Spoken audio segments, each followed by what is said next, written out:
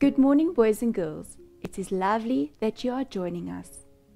What makes me really excited is being able to read the Bible and to tell you, boys and girls, all the messages of what God tells us, of how God loves us so much. Our story today continues from our story from last week when Paul was in Thessalonica. So, Paul was preaching and teaching the people about God's word. But there were some jealous Jews, and they sent men to go and find Paul. But they couldn't find him.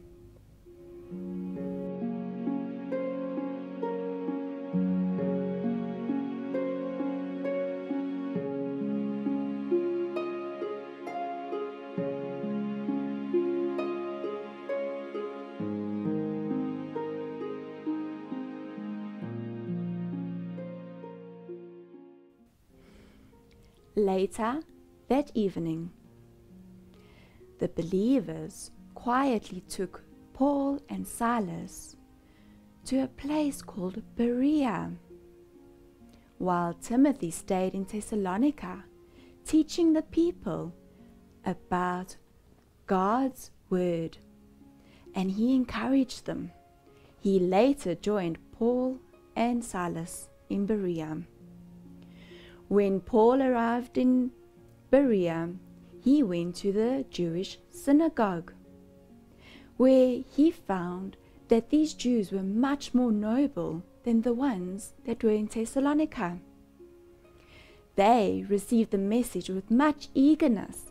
They were so excited to hear what Paul was saying that they went home and they went to go and read in the Bible to see if those stories were true. And I think it is really good if we can be so eager about the Bible as well that we go home every day to read our Bible to see what the stories are, tell us about God.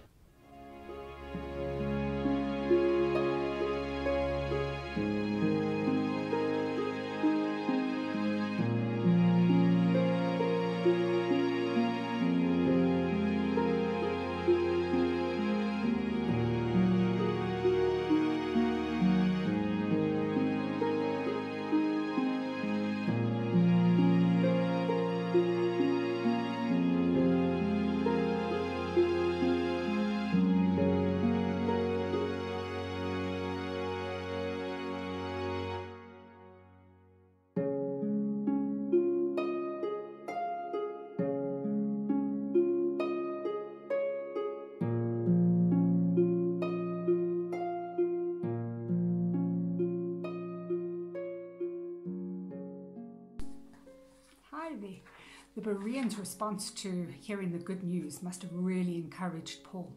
It must, it's always so good to know that people are believing what you're telling them and get so excited about what you're telling them. If only it would be the same for all of us when we tell people about the good news. But unfortunately, it's not always like that. So, in this period of, of the Bible that we're, we're learning about at the moment, how do you think people learned um, who, who lived in the different cities and towns heard about what was going on. Do you think they could just turn on the TV or the radio and hear what was going on? No, they didn't have those things. It was through the word of mouth. So they heard what people were telling them. So when the unbelieving Jews heard the news of what was happening in Berea, they quickly got together and traveled there to go and stir up the crowds because they didn't like what they were hearing, so they wanted to cause trouble. And the people of Berea quickly heard this and they quickly got Paul onto a, a, boat out of um, Berea to Athens. And he left behind Timothy and Silas to carry on um, encouraging the believers, the new believers of Berea. And we can be like those Berean Jews. We can be so excited about the Bible and what it tells us and teaches us. We can learn from the Bible. We can learn it in many, many ways through reading it, through drawing pictures of stories that we've heard, by painting, by dancing, by singing. We can do all these, these things. There's so much we can do. And we don't have to do it alone. We can get everybody to join us. We can sing to God with our families, with excitement, and you can share videos with your friends. So, what I want you to do now is I want you to go and collect your family, go and rope them all in to come and sing this, this lovely worship song with you and to do the lovely actions. And then you can share it with everybody. Have some fun.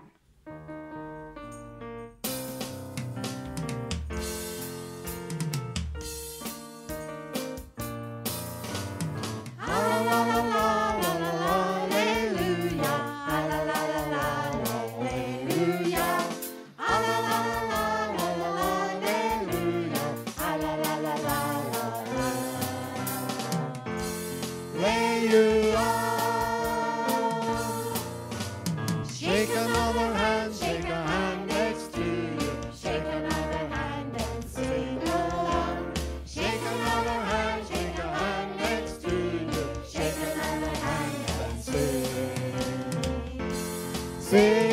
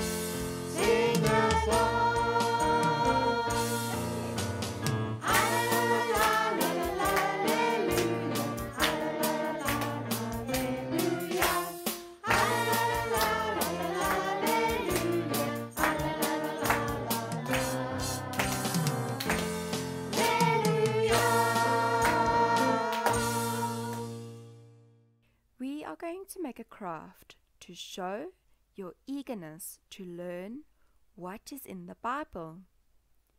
Find your favorite Bible story. Where in the Bible can you find it? Read the story and draw a picture of your story.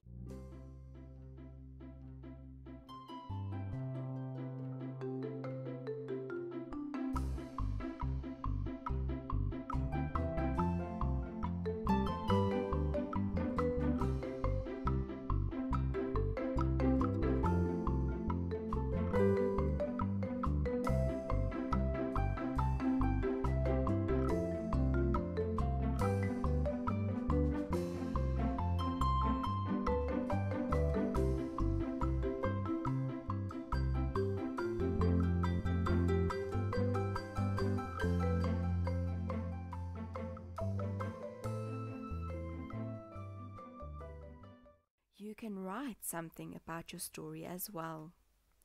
Why is it important to you? What does the story mean to you? And this story you can use to tell someone about the Bible.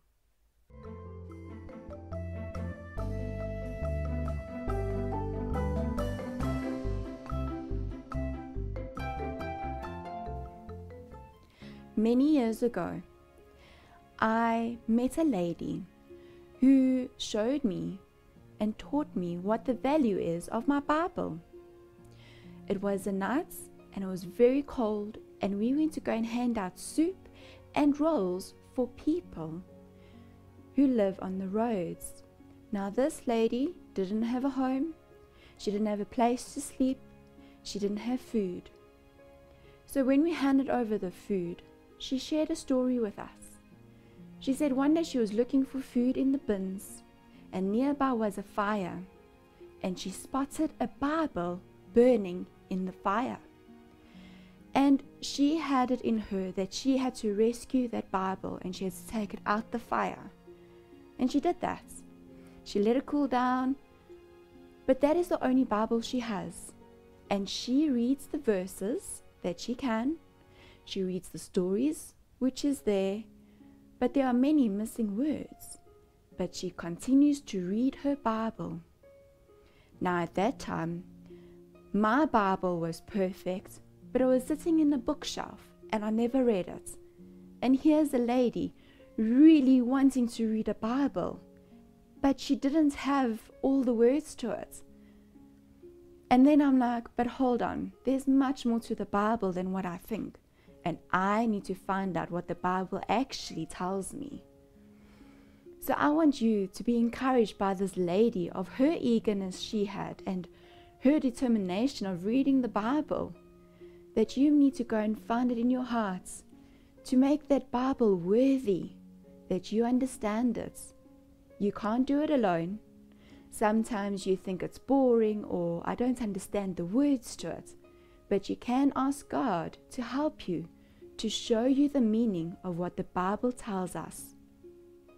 I hope you enjoyed the time with us today and that you would go and find your Bible that is packed away under all your books and that you'll read it. Teacher Audrey will now say a prayer for us. Let us pray. Good morning, boys and girls. It's lovely to be with you this morning. Can we please close our eyes? We're going to talk to Jesus. Thank you, Jesus, that you are with us when we share the gospel. Thank you that we are here to share your word. May we be encouraged by the people who hear and believe your word, but they are eager to know more about you. Change our hearts and our minds so that we too can be excited to read your word and be excited to tell other people about you. In Jesus' name, Amen. Remember to share this video with your friends and family. Your feedback is important to us, so please let us know if you loved this video by clicking like, subscribing and leaving a comment below. Visit our website at benonipresbyterian.org.za and follow us on Facebook at Rynfield Benoni Church.